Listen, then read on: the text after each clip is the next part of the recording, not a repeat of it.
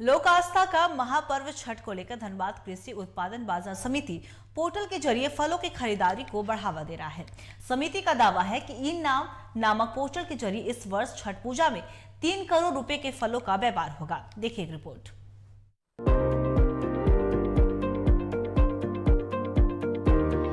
बढ़ते जमाने के साथ हमारा देश भी डिजिटल की ओर अग्रसर हो रहा है। इसी कड़ी में धनबाद कृषि उत्पादन बाज़ार समिति भी कदम से कदम मिलाकर चलना शुरू कर दिया है।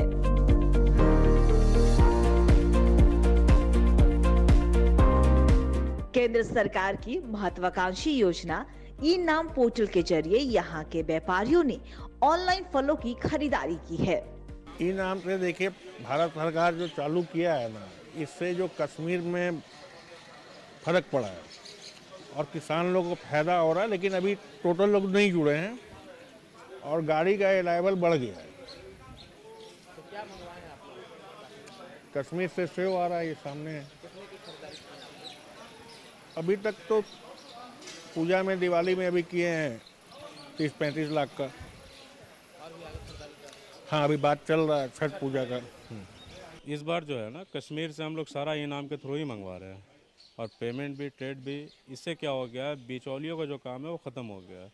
हम लोग डायरेक्ट किसान से माल लेते हैं, भारत सरकार के द्वारा, इनाम के ज़रिए उसको पेमेंट कर देते हैं।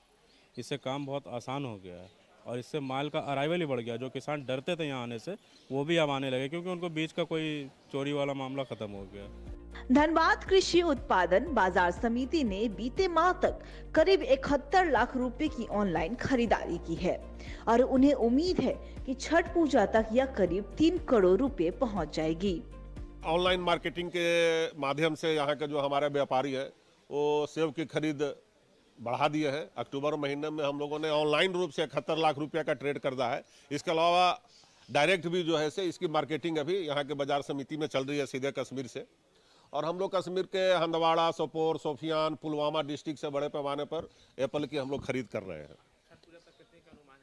छठ पूजा तक हम लोग तकरीबन तीन करोड़ रुपया का व्यापार करने में सफल होंगे, ऐसा हमारा अनुमान है। पिछले साल भी हम लोगों ने एक करोड़ नौ लाख रुपया का ट्रेड किया था।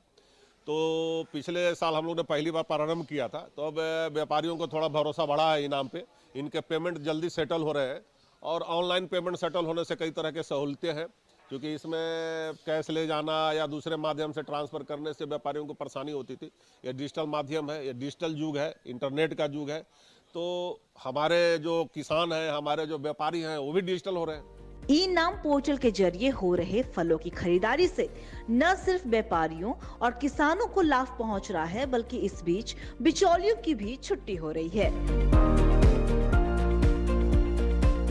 टीवी 45 के लिए धनबाद से कैमरामैन राजा हैदर के साथ विकास कुमार की रिपोर्ट।